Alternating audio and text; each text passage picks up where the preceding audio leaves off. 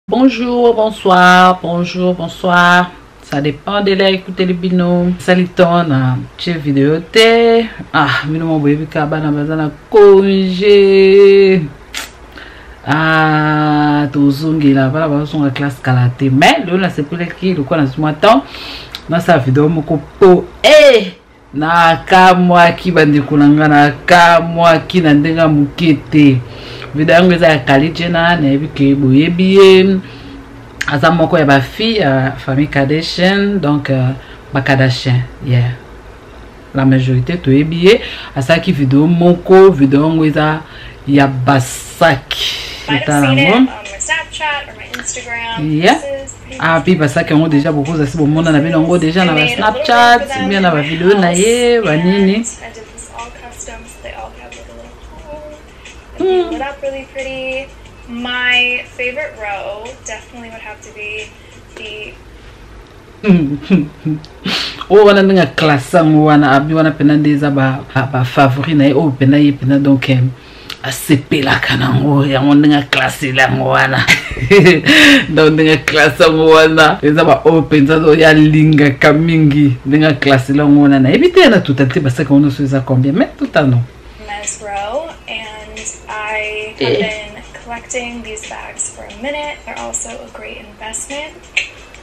Hmm, alobi eloko moko eza mpe interessante alobi investment donc koinvestir mpo na ye basaki wana nde eza wana mbongo en fait ndenge asombeli basaki na ye wana c'est une façon de koinvestir sikoyo mpo na yo ndeko na nga yo olobi nini kosomba basaki eza eh, eza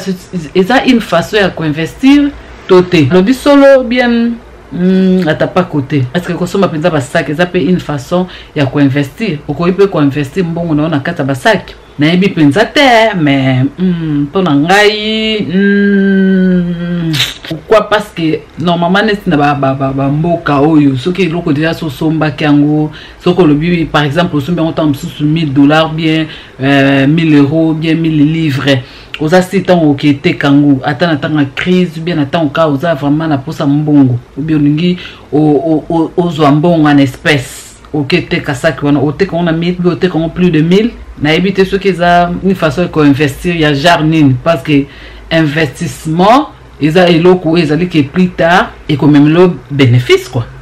benefice ou bien peut-être ezongiseli yo mbongo odepensaki ou bien c'est une façon yake obombi mbongo ntango oza na mposa mbongo yango ochange eloko wana en liquide donc oteki eloko wana ozwi mbongo na obi opesi eloko wana ozwi mbongo na espèce sikoyo osaki soki ososombi yango na bamboko tovandi osaki kutu te babiloko yango même voiture même bilamba soki ososombi peut-être 1000 livre 1500 livre ntango oketeka yango ote kongo nayebi te tya commentaire na se ndeko na ngai yo olobi nini est ce que c'est kosomba basaki c'est une façon ya koinvestir oui ou non donc on avance is really special if my house was on fire i would take this one out of all of them ndako soki epeli moto ya komema saki wana ndeko na ngai sikoyo tomituna saki ane kozala combien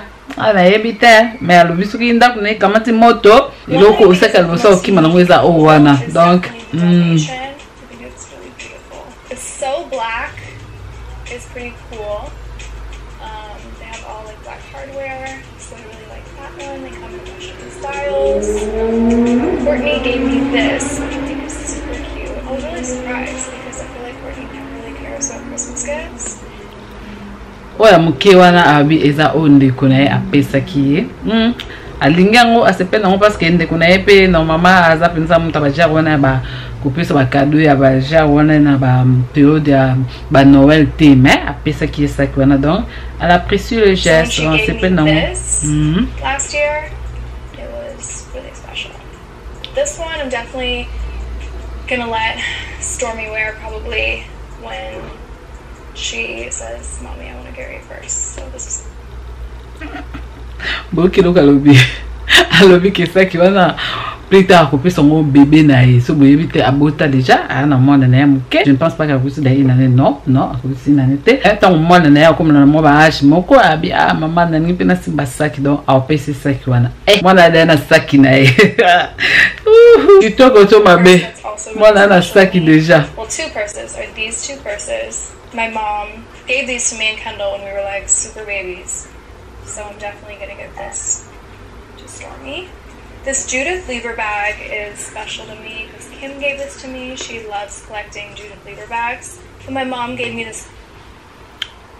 sac rouge à lèvres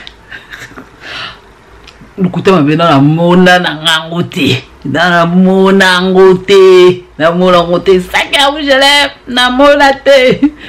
namoni yango kaawa namoni yango kaawa eza kitoko na ndenge ya moke te donc wana ki moto apesaki ye epuis aza so na moke nango wana mama bango moto apesaki ye sac rouge à lèvres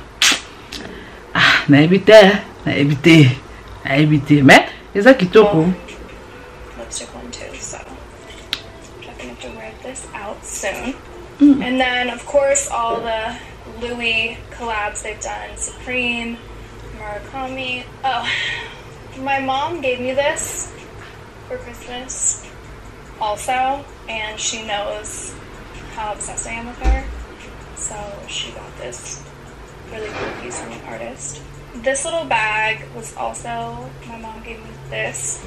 to me and Kendall when we were babies. So, you know, she... abanda makambo basaki yango depuis bomwana eh? parce que oyo ya moke wana abike mama bango moto apesaki ye na ndeko na ye mosusu ya mwasi mama bango apesa bango donc eh, molimo ya basaki wana ondie eh, depuis bomwana parce que parloi mpe eza eza bien kobanda deja kopesa nayebi ke bango déjà bon baza ba celèbe donc c'est normal mpona bango mais en général mpona biso normal est ce que okanisi nini eza bien eza normal na mwana na age ya moke oyo bandazali kopesa basaki ya, ya motuya asimbaka atambolaka nango est ce que eza bien obi eza mabe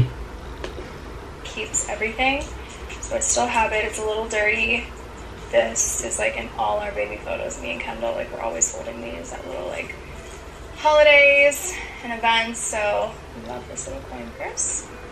Well, that's about it, and I will leave you guys to take a closer look. donc asilisi ye asilisi pa wana alobi donc le reste eza kaka kototalaka basaki yango nyonso angenera ndenge ezali eh, ndeolanga basaki basaki donc chambre mobimba donc biso tobunda na nkulu koluka basake eh, bachambre mpo bokabola yaya alala kuna leki alala kuna bandeko mibali kuna ye deja aza na chambre mobimba atie basaki saki basaki basaki na chambre mobimba en tout cas nayebi te soki yo okotya commentaire nini na nse mais chambre mobimba batyango kaka mpo na basaki na basaki sikoyo totalite ya basaki wana nyonso ndeko na ngai esali combien ah nayebi te pas de commentaire mais est ce que question biso tozotuna ezali nde kosomba basaki ezali bien mpo na investissement o te wana commentaire etikali ya bino merci na ndenge botali video oyo à la prochaine bye